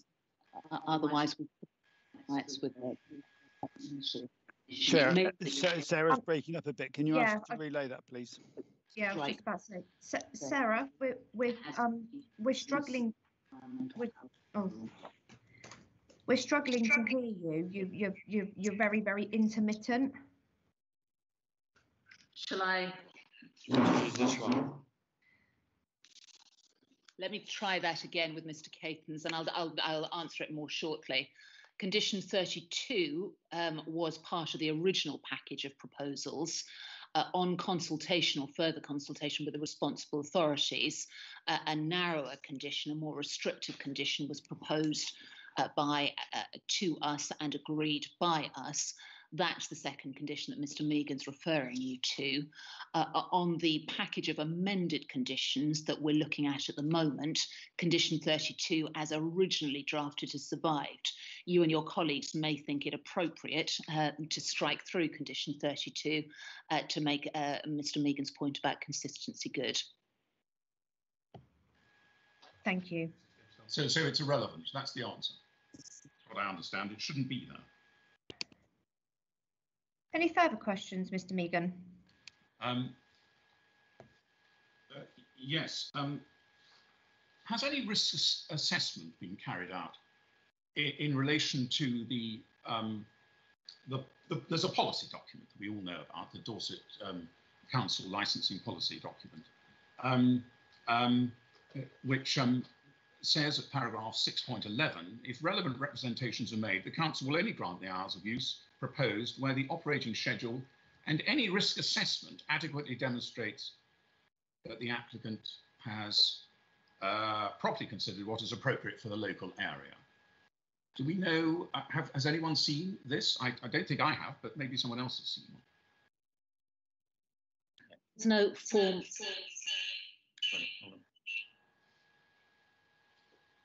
There's no formal risk assessment completed, so the application stands on the documents that have been presented as part of the application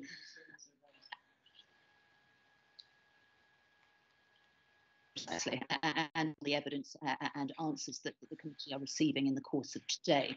That particular aspect of the policy, as we understand it, but this is a matter, of course, for the committee, uh, it, is intended to manage uh, external events, and it really is the conditions uh, that have been proposed by environmental health, and in particular the obligation to produce the full uh, site wide noise management plan two months in advance of any event taking place uh, that, that, that would represent that uh, risk assessment process. Uh, uh, of course, the SAGs for the for the slightly larger scale events.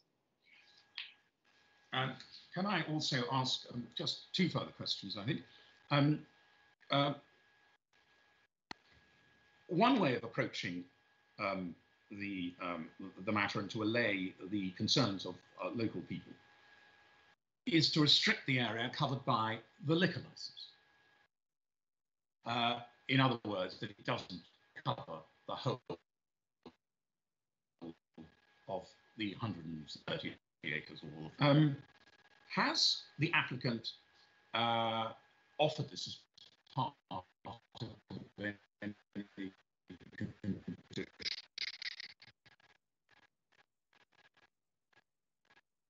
ever? I'm not aware, but maybe I've missed this as well. Sorry, could you repeat the question? We we started breaking up to right. I, I believe the I believe the question um, was around um, has ha, have you thought about um, reducing the area for the license? So instead of the whole of the estate, the whole of the 130 acres being licensable, have you had you had you thought about um, only having a percentage of the say say probably the house and the surrounding areas?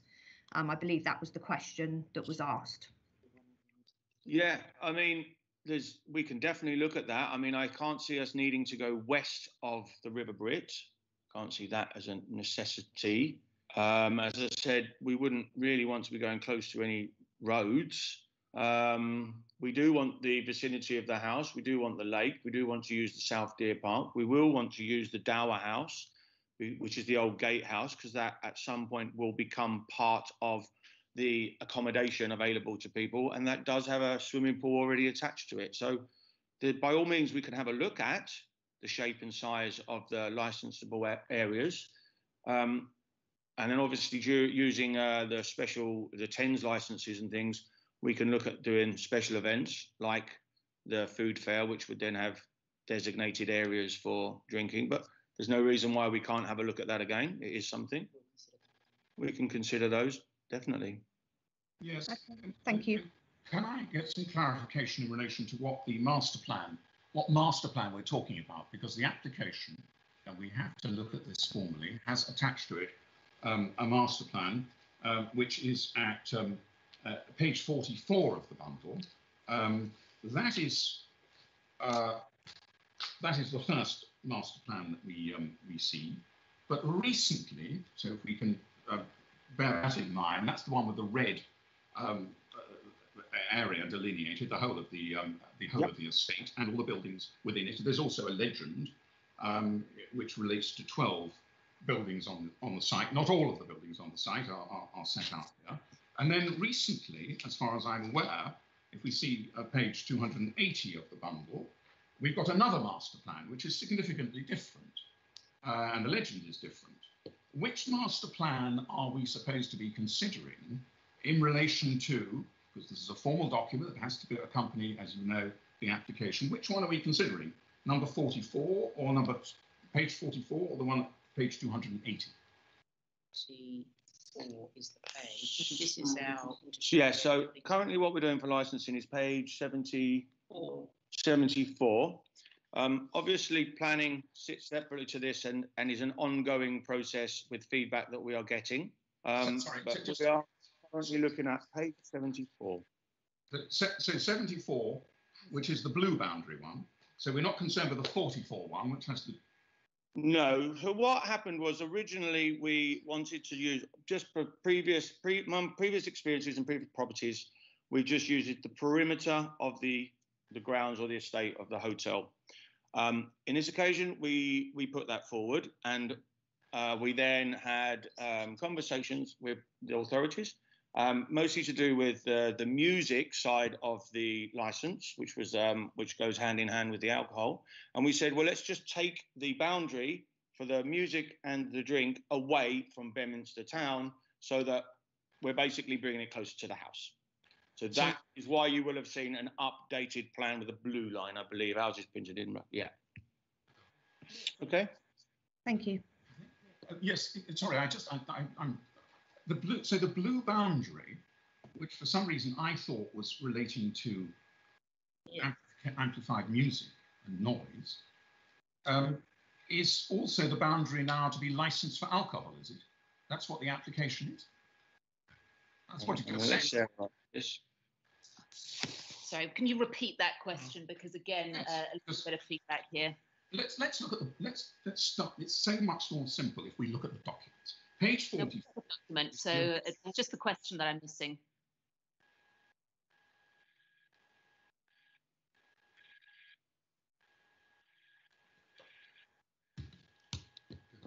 Are you ready?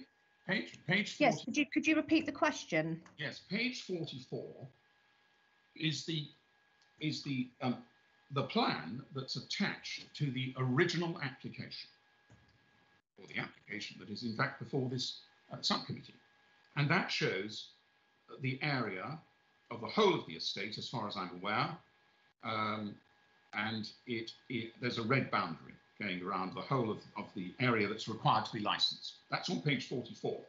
I asked a question originally about what the position is in relation to page 280, Yes. which shows another master plan, um, and which which deals with um, different uh, buildings as well as um, it, has extra buildings on it and a different legend from 44. I was confused about that. What I'm now told is that if we go back to 74, which is the one that has the blue line on it, that the blue line area encompasses not just or the blue line is significant not simply in relation to noise, but it's actually uh, significant and restricts the area for which the alcohol license is being sought. Now that's complete news to me, but maybe I, I think that's what Mr. Caton's just said. So uh, you didn't mishear. Uh, uh, it, it is right, and I hope uh, it, it was clear from the way the committee documents have been put together that it's page 74 that was the revised plan uh, uh, uh, uh, in respect of which the license has been sought. Uh, it's right, as you'll be aware from reading the papers, that that blue dotted line, uh, certainly in the electronic form, uh, it, it was the subject of the condition uh, intended to restrict uh, external events. But as you've just heard Mr. Caton say in response, firstly, to an earlier question of yours, in fact, to an earlier question of the committees as well, uh, we don't expect to be uh, providing alcohol uh, site-wide. Uh, and if it is a comfort to the committee uh, and a comfort to others on this call, then that blue dotted line boundary could, could well be applied to the supply of alcohol as well. Well, I'm, I'm afraid it, it's, it, may, it may be a comfort, but uh, um, can I point out that 74 are being shown the original in colour. I don't have that in my file, that doesn't matter. Has the red boundary on it, as well as the blue. Yes, it So it encompasses the whole area that's on 44. So that, I'm afraid, is not what I. That's the reason I. Obviously, I've seen the original in colour. That's why I. I, I, I, I, I Uh, I appreciate the, the colour might have been a difficulty. The blue line was intended uh, to, uh, well, I, I- perhaps can't improve on the previous response. Uh, and hopefully that, that uh, provided a degree of clarification to you, Mr. Megan. Uh, it might, might, may have done, but I hope with the committee or the subcommittee, the people who who need to have this clarified because I'm I'm I'm amazed to hear that. I have to say. Um, and anyway, I, I, shall I shall I shall comment upon um, that late, later on. Can I just ask one further question of Mr. Mr. Caton in relation to um, the buildings, whichever plan, master plan we're looking at, um, which buildings could actually be used for licensable activities at the moment? At the moment, we would use what we're calling the West Wing, which is part of the original house and has a roof and has been refurbished. We will be we will be using any of the other dwellings. So the Dower House, which is the original gatehouse, we So will be using House And there's the West Wing, you said. West Wing and the Who- Dower House. That? I'm sorry. Who, who, does anyone living in the West Wing at the moment? No, it's used as our, our office space or when our friends and family come and stay. Okay, so We're currently that's, sitting that's in the that's West. the Dower House. Yes, what else? Okay. Um, then we would like to use the cottage that I'm staying in. This is down the line because obviously that will become form, part of the accommodation. Where, where, want where, do we see that on the plans? I don't think you've actually got a number. It is Is very close. No, it is very close to. Yes, it's very close to number five. Right. Okay. We would then like to use. Yep. Then we would like. We will be using uh, a temporary structure. Should we get our planning, which will be a tent, which will be our day to day on the weekends when we have guests here, food and drink. And then there'll be a small area um, which will kind of be a potting shed, which we would like to people to be able to, and there'll be a, little bit of um, there'll be arts and crafts in there as well. Um, and then all of number 11, which will be the lodges, which we intend to have operational for next year. We would like for people to be able to buy alcohol there. Um, The, the river lodges. Storage. But, but they're not in existence at the moment, are they? no, they are not. No, I- well, I did say currently what could be used.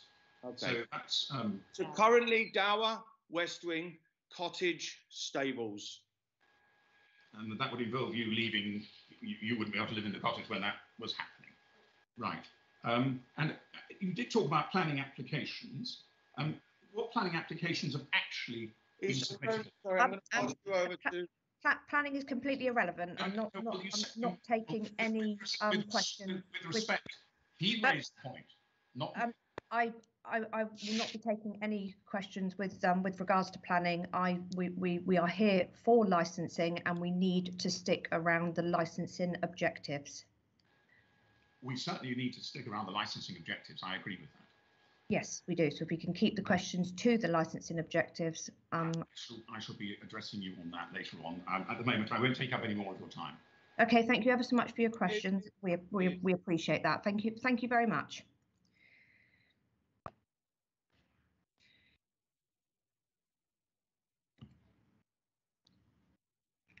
I now have um, Lorraine Briam. Do you have any questions for the applicant? Yes, I do. Thank you. Hello. Um, everything. Can I speak? Yes, yes, of course. everything so far that Mr. Caton and Mr. Lefebvre have said um, completely contradict what Mr. James Perkins has said himself to the press and to people that he's spoken to in the community so far in the last year. He has stated that he intends to have an adventure theme park at Parnham House. He stated he intends to have jugglers roaming the grounds, actors roaming the grounds, interacting with people who are visiting, and also have giraffes roaming the grounds. Now, I'm sorry, but and, and also he mentioned that it was going to be a Batman styled theme park. How legal that is, I've no idea, but also, and that it would be have have music events at the uh, on the premises. Well, everything that's been said today makes it sound like a, a quiet little country park. That's not what has been put out in the press, and that's not what has been related to people who have already spoken to the owner. So why are we being told different things now? That's one question. I do have others, but if you could answer that for me, Yeah, please. okay, obviously, we're, uh, us as, as councillors are not privy to what um, goes on and is said in the press, basically. Well, we are very, very close to Parnham. I mean, you know, as the crow flies, we're far less than a mile, Yeah. as is as is and Beaminster. And in his previous um, place, he was just under nine miles from any major town. Bridport's only six miles from Beaminster, but far enough for it not to affect anybody. Everything that has been proposed so far seriously affects around 5,000 people that live very closely to Parnham House. I, I will, I will, yeah, I will ask if your question can be answered with regards to the events. Obviously, we've heard what type of Mm. events are going to be uh, that, that are, are going to be held there, and so yeah, I'll um, allow for your uh, your question to be answered, and obviously just clarification on the uh, on the type of events. We'll do the best we can in a in a in a sort of a, a tag team. Uh, myself first, and then Mr. Caton following on. It, it is right that Mr. Perkins is. Oh God, You've Um, frozen again. You've frozen, yeah, you have frozen again. Chair, can, Chair, can I just come in there and say a lot of the issues that Miss a lot of these issues that are raised are like are planning issues and nothing to do with our licensing objectives. What is said in the gossip, what is said in informal chit chat is not relevant here today. We can only deal with what's in front of us formally. Yeah, that's what I've said. Obviously, we're not privy to what is in the Well, press, um, because it's of no, you know, because it's not what I just want Well, to clarify. a- as Just, excuse me. I'm I- sorry, but the owner's intention is relevant to this Excuse- whole can- thing. yes. And it was the owner who called for Could these you please press let me speak? Thank you. Um, just going back to Councillor Fry's point, to take on board the point Councillor Fry has made, but what I want is just, I just want clarification from the applicant just as to the type of events. We've heard what type of events they're going to have, so I just want to clarify again that type of events, and then you know we will we will move on. Um, yes, as I've already mentioned, the type of event that we will be doing is not what we have just heard. Thank you very much. Okay. Okay. Uh, Can I, as as I, as I'm here at the, at the same computer, Karis Bream, I'd just like to ask one question. Absolutely, yeah. Uh, it's just to do with how you plan to measure sound, and I know the uh, the the shape of the local landscape has been mentioned, but we actually live um, just above Netherbury, which uh, neighbours Parnham Estate, and uh, we can hear pretty much everything that takes place, any event. There was one last weekend, I believe it was at Mapperton Manor. Um, they must have had a wedding or, or some kind of event there, and I could quite literally hear the lyrics to the music being played. That is how well sound travels through this valley. So, my suggestion is that whilst you may be measuring sound at the location directly on top of the speakers, what you may not be measuring is how that sound carries throughout the valley to us who are sitting Yeah. here at three o'clock in the morning listening to your amplified music, which may be within limits um, there on on site, but is amplified just through the nature of the landscape. And and are we going to have to sit through 10, 20 weekends all through the kind of spring, summer, autumn, leisurely trying to enjoy the peace and quiet and tranquility of this pocket of West Dorset, uh, listening to someone's party? Um, uh, I mean, that that's my question. Thank you. Um, so we have, we are using a company which is doing our sound strategy, and they will be recording on the perimeters of our, not at the source.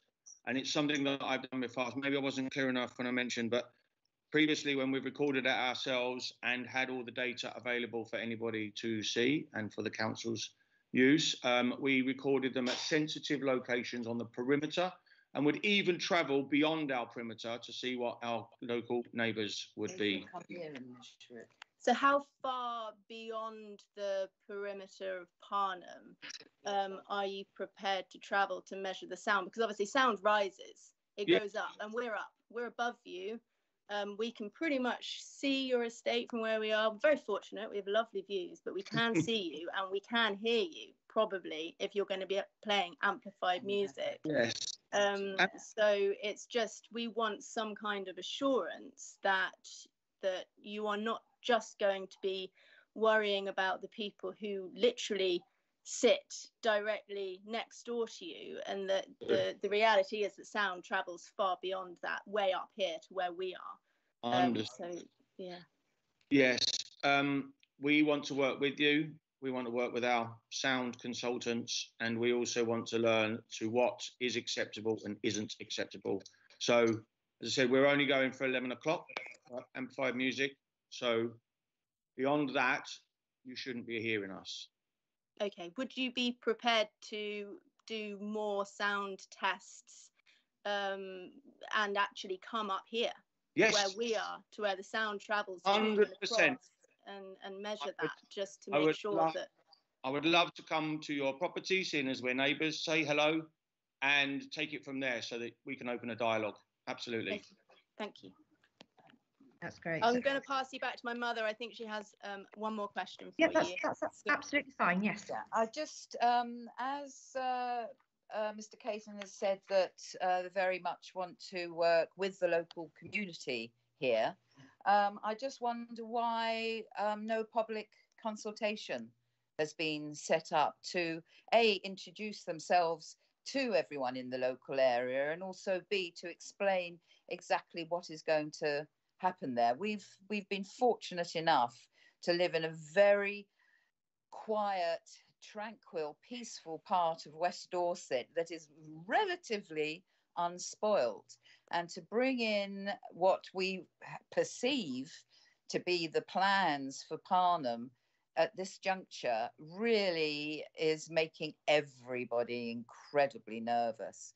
And I think one of the only ways to appease people's worries is to actually talk to them, have an open public consultation, possibly in, in the grounds, and then just find out exactly what it is that you propose. Because we have also, I know this is not a, a, a definitive part of now, but both Babbing, Babington House, Soho Farmhouse are near to major roads. We are not. We are, it's very quiet round here. And that particular road that goes past Parnham is very dangerous. I know two people have been hit head on by uh, oncoming vehicles. So uh, th- there is a lot of worry for people, and a public consultation would help enormously, I believe.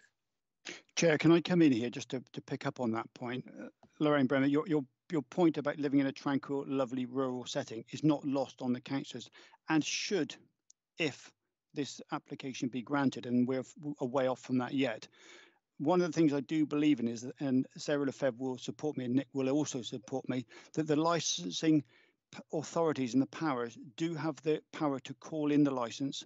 Should evidence substantiated complaints be made from the community, you've actually got a very good power within this to do it. And I have seen some of the applications that commented and said, why don't start a smaller event and then see how it goes? Well, sometimes we have to see how things happen. And then if, if complaints are made, both the applicant and the, the DPS know that they will be on warning all the time to monitor their event, to keep it within the conditions that if they are set are agreed.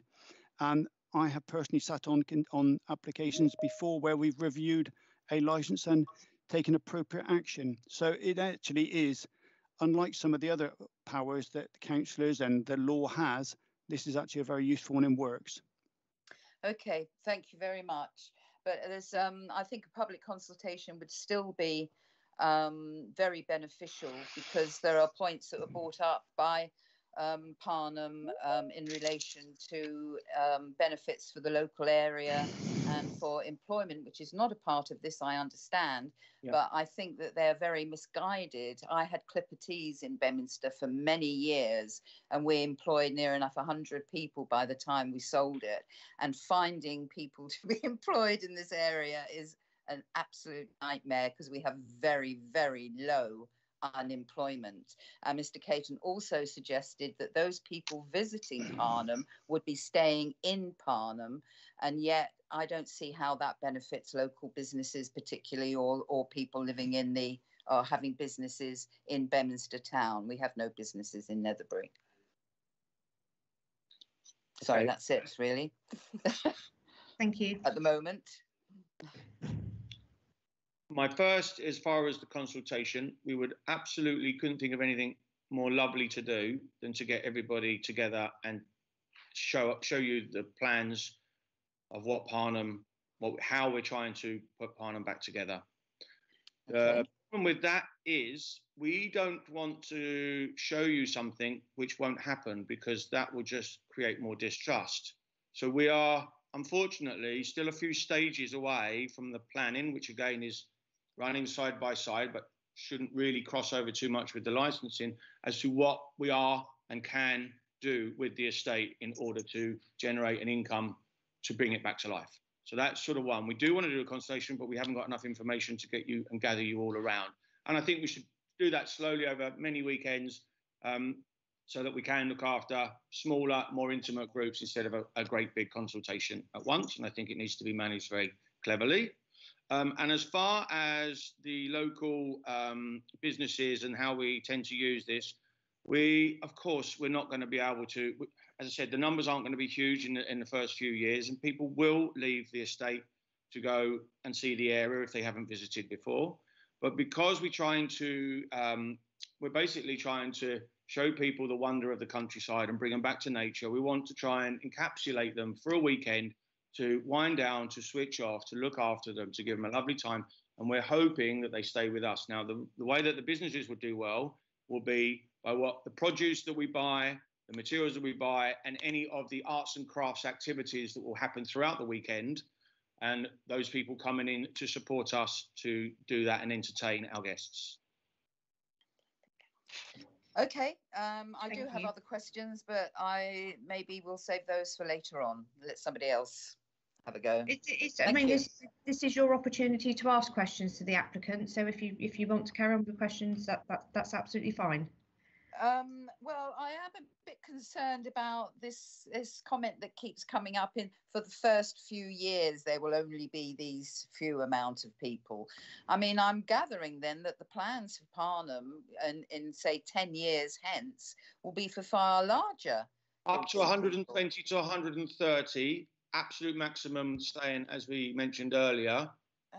And it's um, and that's many years off because that will involve the main house being used for accommodation, which would probably be another 20. Yeah, I mean, I am. I have to say, I am very concerned about the um, a license, an alcohol and food license being granted where there is hardly anywhere for um, any entertainment to take place on site at the moment because putting something in a tent is not going to stop any noise whatsoever or in a marquee.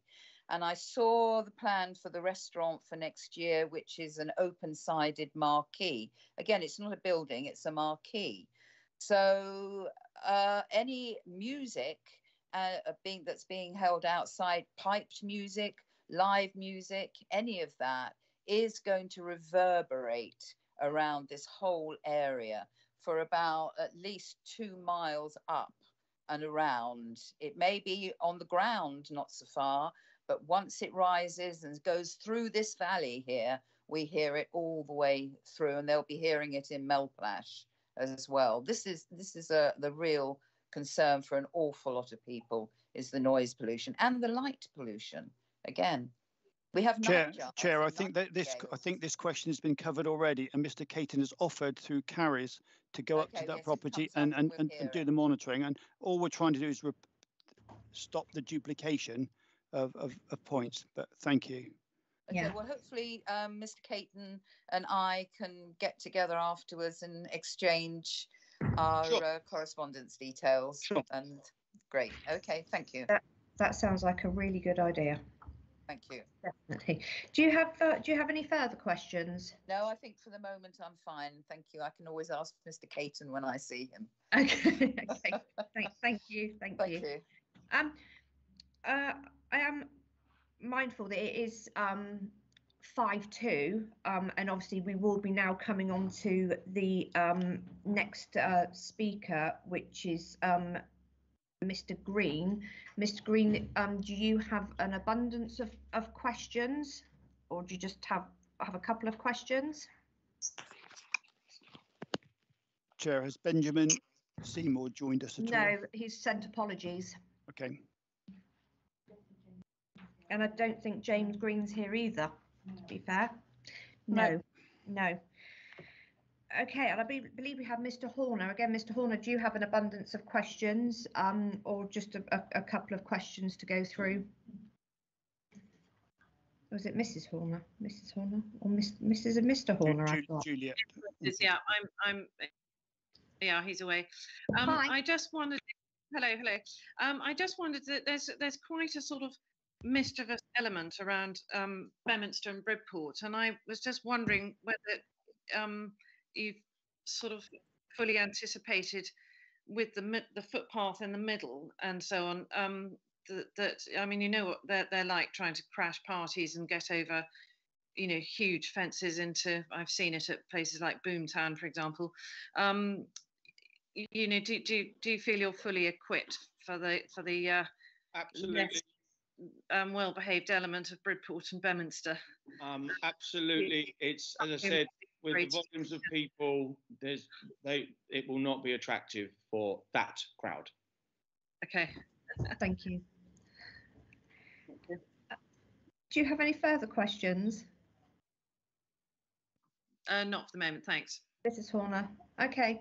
Um, but with that in mind, what I'll do, um, I will break there because I'm, I'm mindful that we're getting uh, quite close to one o'clock, and then what we will do is when we reconvene at two o'clock, we will reconvene with the next speaker, which will be um, Chrissy Jenkins. So um, if you could all be back here for, for a sort of two p.m. prompt, that would be very much appreciated. Thanks, thanks for your time. Thank you. Thank you.